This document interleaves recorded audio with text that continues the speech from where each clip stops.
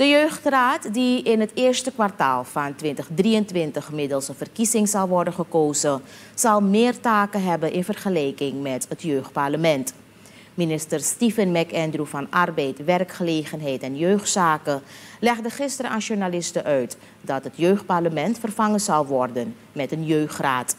Alhoewel de structuur min of meer hetzelfde zal zijn. Echter zullen binnen de jeugdraad jeugdvertegenwoordigers aan resorten worden gekoppeld. En ze zullen dan verplicht zijn om tenminste één keer per jaar uh, feedback te hebben met uh, jeugdigen in de resorten, zodat die hun issues naar voren kunnen brengen, om vervolgens verder gekanaliseerd te worden naar de jeugdraad toe. En wanneer de jeugdraad dan uh, besluiten neemt, dan komt het vervolgens dan bij het directoraat de jeugdzaken terecht. En dan zullen we kijken wat voor beleid we daarop zullen moeten loslaten.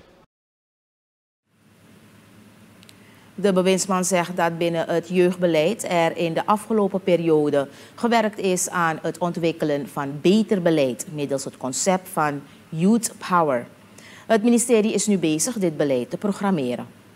Zodat onder alle pilaren, participatie, ontwikkeling, weerbaarheid, economische activiteiten en rechten, activiteiten uh, geprogrammeerd worden, zodat die dan uitgevoerd kunnen worden in 2023.